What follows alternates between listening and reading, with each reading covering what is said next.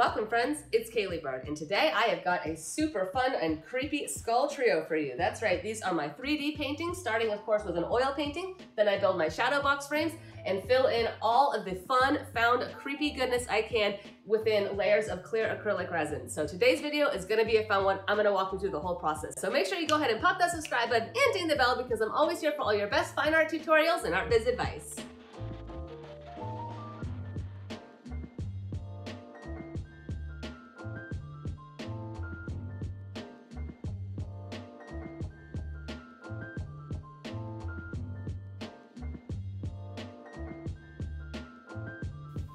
Of course, to create any decent painting, you got to start off with a pretty solid drawing. So I had a really good time taking my time and freehanding this skull.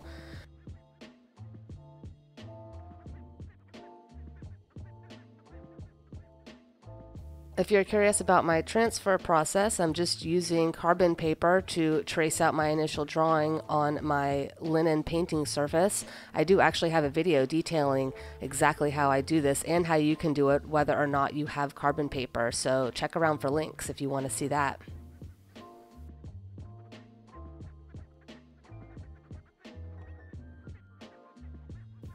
And next, of course, is my own Caleigh Bird Art secret sauce backgrounds that I love to make.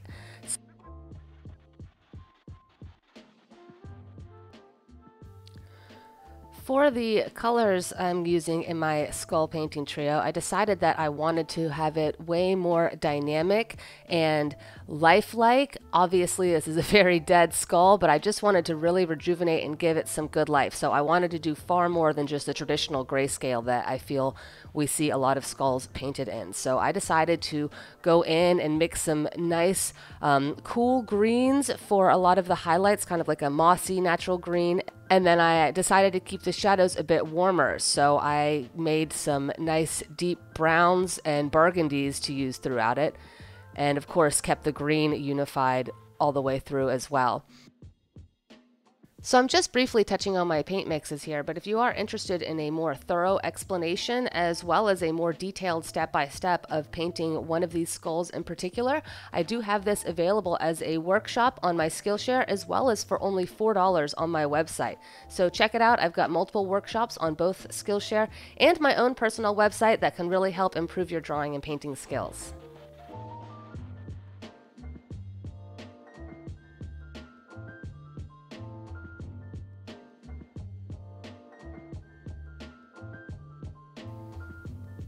This one is actually the first skull I painted, and it was actually the first skull I think I may have ever painted. I've definitely drawn skulls before, but I, as far as I can remember, this is the first human skull I've ever painted. So I really had a good time, like I was saying, experimenting with the colors, trying to make things a little bit more exciting and lifelike.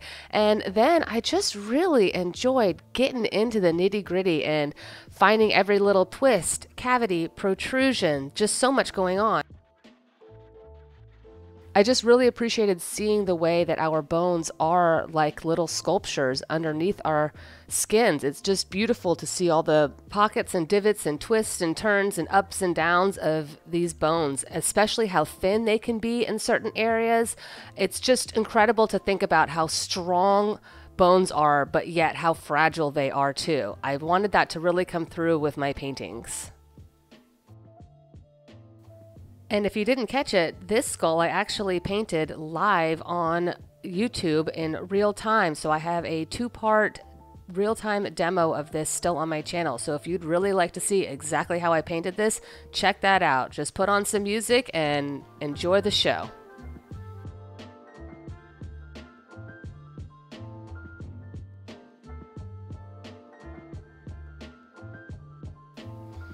So this second skull I did was, I feel, a bit of an improvement on the first. Everything is a learning curve, of course. And with the first skull, I felt like I was kind of getting the dimension, getting the shape, kind of learning a bit about the texture.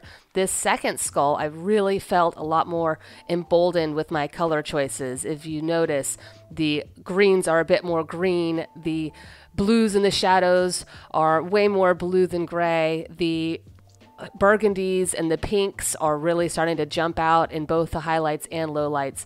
So this one I was really having fun with, feeling more confident with, and exploring my colors a bit more.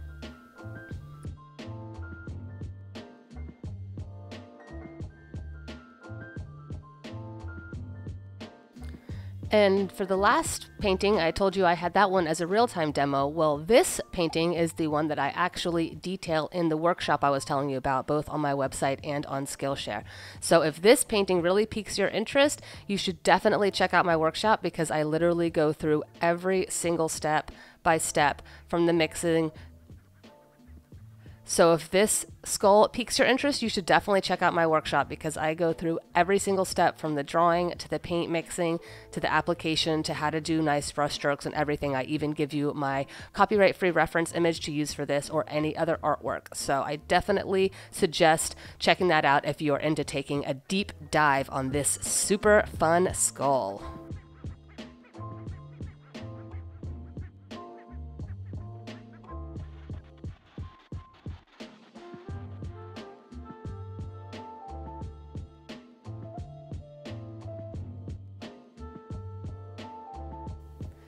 Usually, my paintings tend to be a much larger scale than this, but this was just a fun little experiment, something I've been wanting to try. And I had these great 5x5 blocks that I was able to affix my Belgian linen to.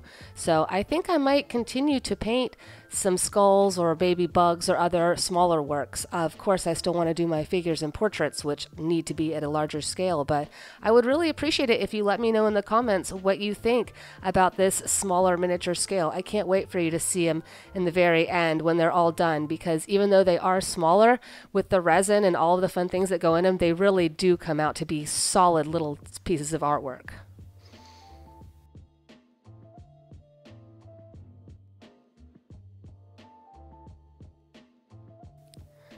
Actually, speaking of enjoying these smaller works, I think I want to continue doing skulls, but I want to switch it up. And next, I think I'm going to do some animal skulls. I don't want to tell you what I've decided on already because I've got at least one or two extremely exciting ideas and already have the beautiful copyright free references. But I would love for you to tell me in the comments if there's any super awesome animal skulls that you would like to see me paint. And if I can find a good reference image, and I just might do it. I will definitely shout you out in my video if you give me a really cool animal skull suggestion that I wind up using.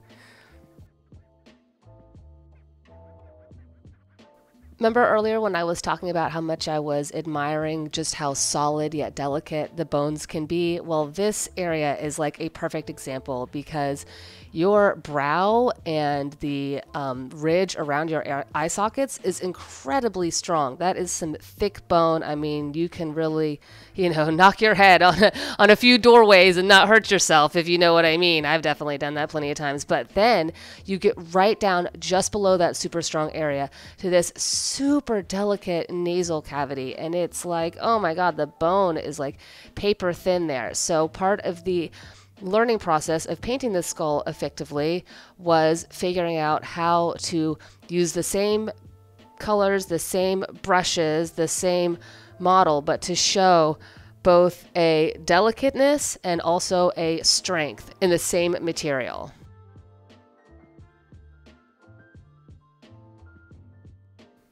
So, as I was saying about the second painting, feeling a bit more confident with my colors, in this one, I really just decided to be fearless. I was like, whatever, my reference photo might not show green and pink throughout the jaw and cranium, especially. But you know what? I do because I think that these shadows and these highlights should be warm and cool, should have a bit more dynamism. I'm not just trying to do some old yellowed, boring skull that looks like Indiana Jones, you know, hasn't knocked the dust off in 80 years. So instead, we are going to be vibrant and just do whatever we want. and like I was saying about having little improvements with each skull, this one, I felt like not only did I just get in there with the colors even more, but I found the glow. And I think you'll notice at the end that this one really not only is it more of a dynamic pose being three quarters, but it's just there's a real glow about it that I'm really proud of.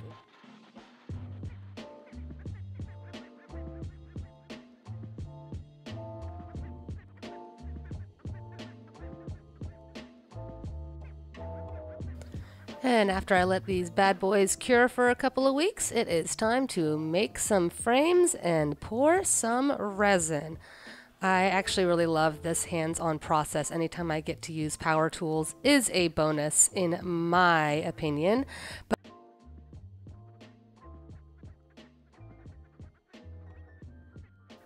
If you'd like to know how I build my frames specifically, check around for links. I do have an older video showing my process.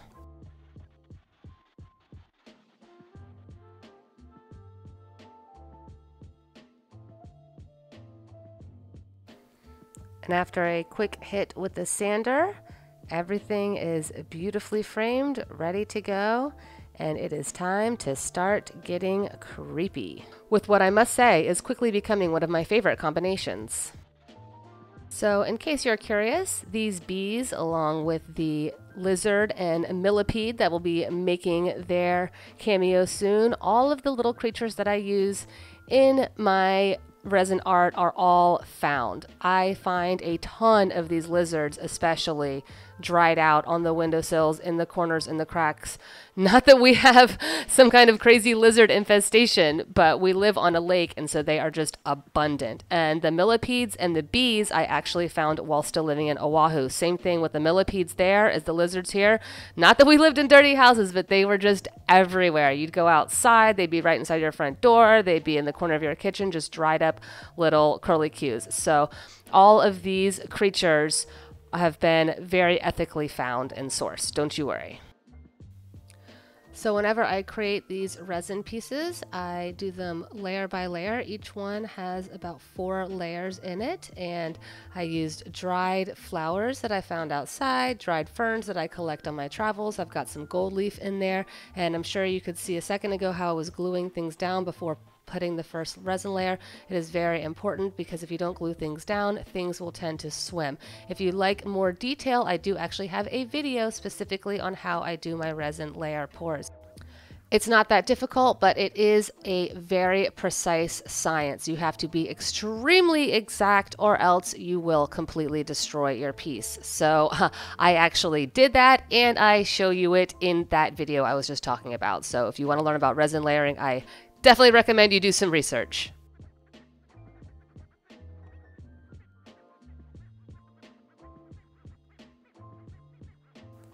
And bonus, if you remember from my first resin mold making video a few weeks ago, I have now started using the end little bits of the epoxy resin so I don't have to waste any and creating these lovely little 3D molds with all my beautiful pressed ferns.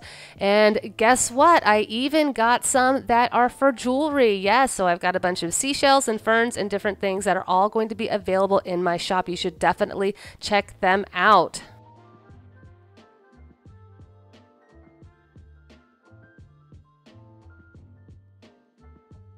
And then letting everything cure for a few days once again, it was time for me to go ahead and paint the frames. That's right, finishing touches, gotta make everything beautiful.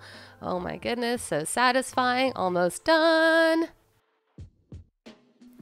Oh yes, let me just bask in this moment for a minute. Oh, I am so happy with how these turned out. The epoxy resin is perfectly crystal clear, which doesn't always happen. So, oh, I am very, very happy with how these turned out. This first one actually has sold already, but as of right now, the other two are still available in my shop. If you'd like to take a peek and maybe support an underworked artist during this pandemic with some beautiful artwork for your own home, definitely check it out.